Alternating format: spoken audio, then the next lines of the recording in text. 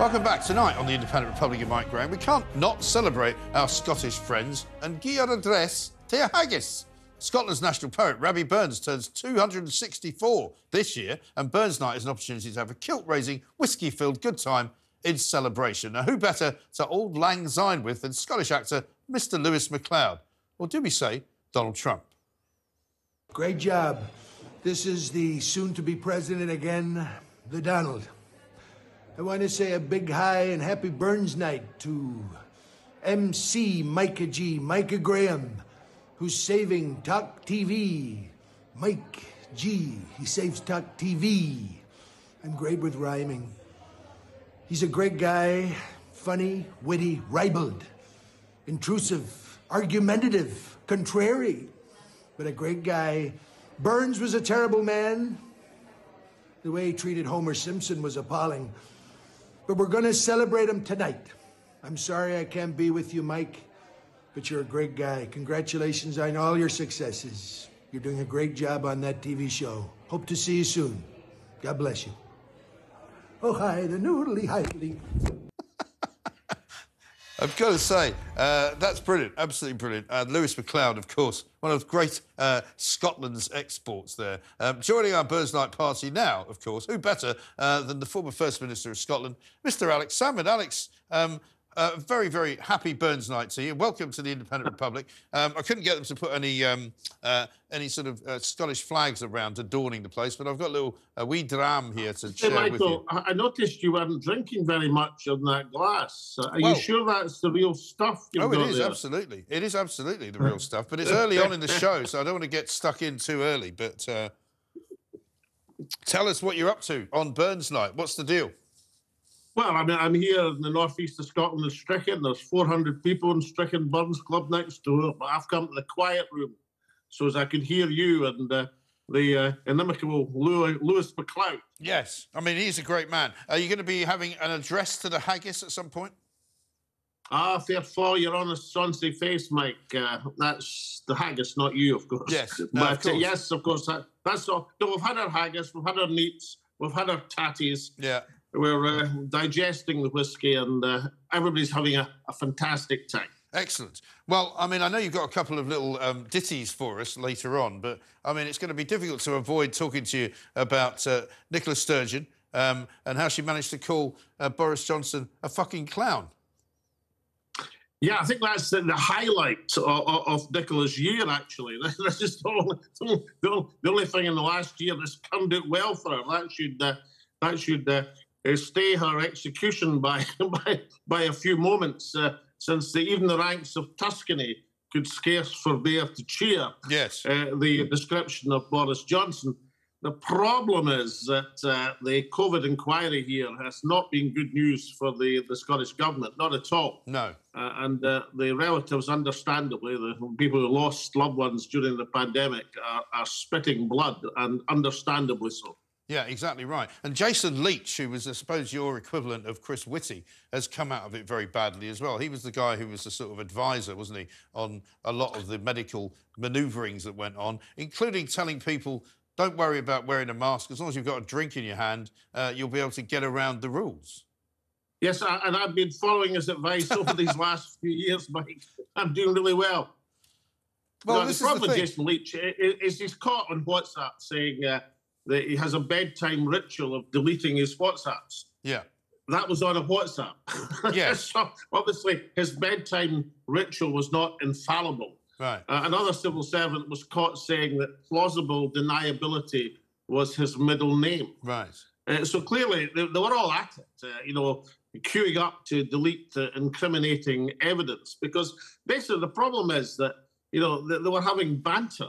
You know, now, you know, I mean, most people are not po faced about these things. You don't deny people's right to have a joke or two. But, you know, it's very difficult to see the humour in the middle of a pandemic when, you know, tens of thousands of people are dying.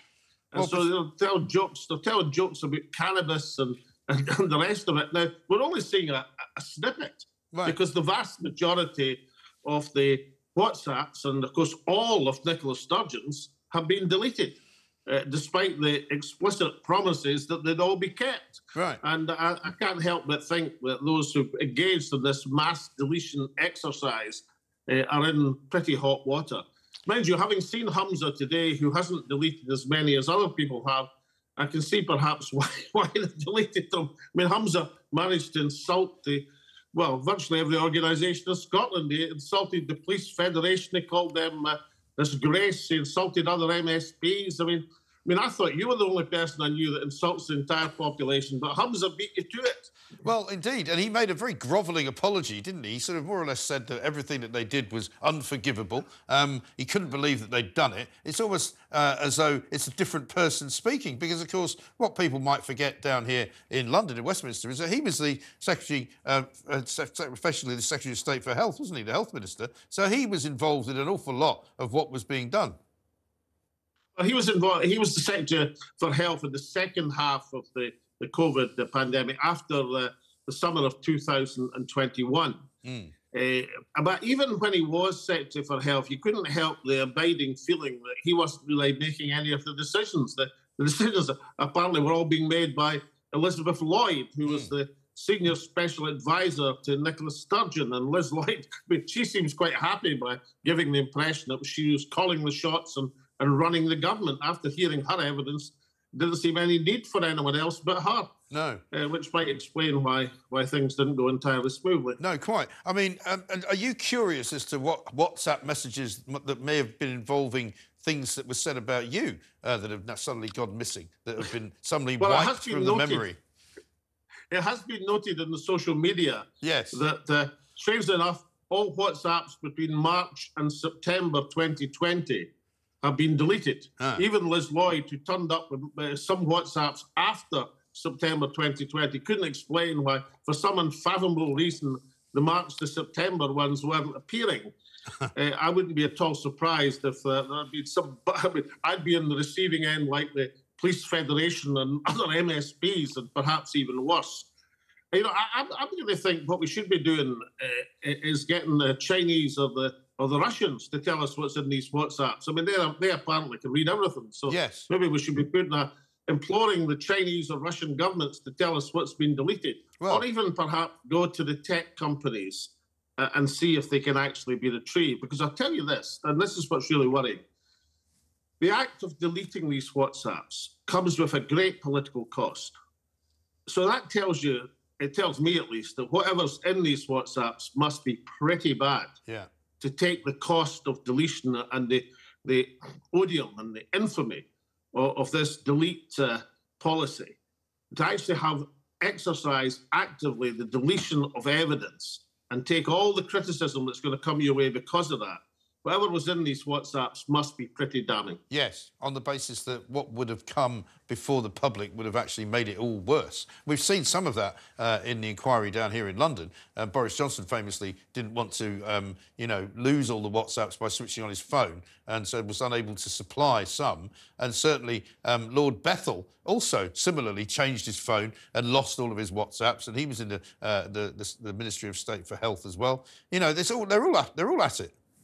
Yes, of course they are, and and, and you know, therefore, having the Tory leader in Scotland seems to forget that uh, the Prime Minister didn't turn over any WhatsApps. Boris Johnson had a smattering, as you rightly say, people in the health department. I mean, everybody seems to have had very jittery fingers and dropped their phones in baths at various points over the over the last uh, over the last year or two.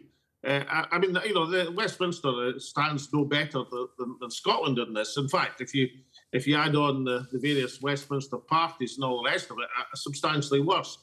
I think one difficulty for the Scottish Government is this. Uh, I mean, they gave the impression, and were anxious to give the impression, that they were doing so much better than the politicians at Westminster. Yeah.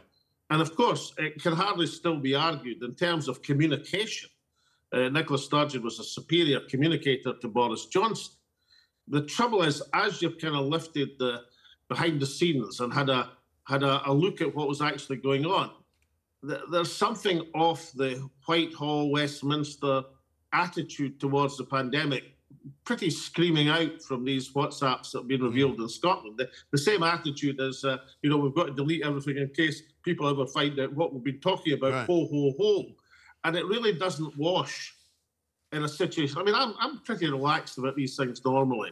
Mm. But, you know, this is not the sort of situation where people should have been joking behind the scenes and having a good laugh at No. all the, the things And that also are going on. I mean, the it seri- really doesn't it doesn't sit well. No, and also the serious nature of it is also surely that if it was all being orchestrated by Jason Leitch and it was almost official policy to get rid of anything that might be incriminating or it might be difficult to see in hindsight or might be dodgy, you know, that in some people's eyes would be called a conspiracy. And it could lead to some kind of law breaking, could it not? I mean, I'm looking at a, a story here uh, from the papers today saying that the SNP is already now at the centre of three police investigations. That's right. I mean, you know, if there's enough police investigations about to get them on something, I would hope. But uh, I but mean, no, so I mean, sound like the pretty Donald. Trump of uh, Scotland. Yeah, well, that's right. Well, unfortunately for the SNP, it's not having the same political effect. You know, every time there's another indictment against Donald Trump, his poll ratings go up. That I'm afraid that's not happening for the SNP uh, uh, in Scotland. But you know, there's a big, there's a serious side to this. And you know, remember, of course, Nicola Sturgeon made an explicit commitment during a COVID briefing to the journalists on Channel Four Mm. that WhatsApps and these messages would be kept. And also, some of the stuff that's come out does indicate, of course, that some decisions were being made effectively by WhatsApp and informal communications.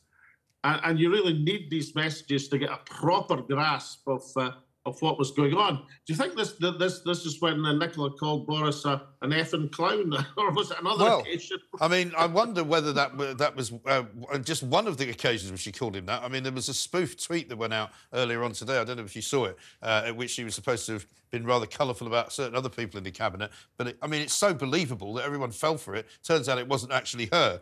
Um, so we There's won't. some, there's some speculation, of course, in the missing messages. She may not be too complimentary about people in her own cabinet, Well, which That would, would be, be- one that- reason for deletions. Well, I think it's fair to say, and, and you know, you've spoken about your friend, your previous friendship with Nicola Sturgeon, and your your kind of tutelage of her to some extent as a politician. That you know, um, she obviously got to she obviously got to a point in her sort of power crazed manner that she thought she could get away with saying anything she liked and doing anything she liked. Well, you know, Nicola once said she had an imposter syndrome. Uh, uh, you know, she suffered from it. She said that in an interview once, and there's no much sign of an imposter syndrome. I think it's probably whatever the reverse of the imposter syndrome is.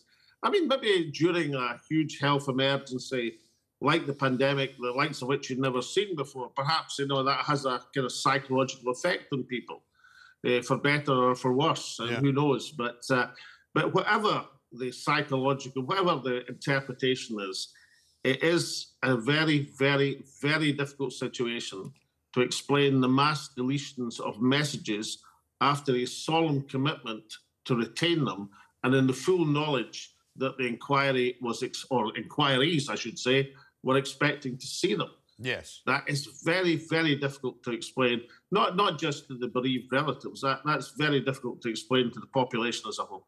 Absolutely right. Speaking of people who have got problems, um, I'm just seeing a bit of breaking news here that uh, Baroness Mone uh, has had her assets frozen. Uh, which doesn't sound very pleasant at all. Um, apparently, about 75 million pounds worth of assets linked to Baroness Mone and her husband have been frozen or restrained by court order as they face a National Crime Agency investigation into alleged fraud uh, of those PPE contracts. So, um, not a good day for her either. No, but that's only a few hundred million to go, Mike. You know, they're not allowed to sell 75 anything off. million, that's a that's a spit in the bucket. Yeah, absolutely right. We'll be talking more about that as the show goes on. Alex, let's hear your uh, your uh, Burns uh, impression because you've got something to say. I think you've got a few lines for Keir Starmer and Rishi Sunak. And shall we start with the SNP? Well, the- well, well, what I thought for the SNP, it's uh, a little known uh, of uh, of uh, Burns's works. Uh, here's a here's a health. It's called. Uh, here's freedom to him that would read. Here's freedom to him that would write. Uh, there's none to be feared that the truth should be heard, save them that the truth would indict. yes. That's a message good my ex-colleagues could could ruminate on Yes. in the days and months ahead. And they know who they are, right? Yes, I'm sure they do. I'm sure they're having a very miserable Burns night, unlike you. Um, do you want to give us a, a few lines on Sunak while you're at it before we go? Well, I, I mean, for sure, I mean, you know, I, I thought for the, the two main protagonists at Westminster, I should do just a wee excerpts from To a Louse uh, for the Prime Minister and To a Mouse for Sir Keir Starmer. Yeah. Uh, so uh, To, a, to a Louse should be for the Prime Minister. Uh, oh, had some poor the gift to give us to see ourselves as others see us. It would frae many a blunder free us and foolish notion. I don't know if you need a translation of that, Mike, or, or can you just get the I think to see ourselves as others see us has always been a great line. I shall, cho- I shall toast you uh, one more time. Um, happy And, Burns uh, night. uh, how about? You- We can't, we can't go without Sir Oh, sorry, go on. We slick it, Curan timorous beastie, up when a panics in. That is, that is certainly true. He doesn't know what to do. Uh, thank you very much indeed. Alex Salmond, former First Minister of Scotland. Um, in a pretty good place, And, I would and say. listen, you've, turned- you've turned down the, the Strichen Burns Club uh, for the 10th successive year in doing an immortal memory, Mike. Can I, can I put you, can I go back to the assembly next door and tell me you're a certainty for next year? I think you can. Absolutely right. I'll, I'll, I'll make it a date. No problem at all. And we want new jokes. Yeah, I'll bring new jokes. Don't worry. I that's all I do. Very good, Alex. Thank you very much indeed, Alex Salmond there, reporting in uh, from the north of Scotland. Burns night, indeed. Uh,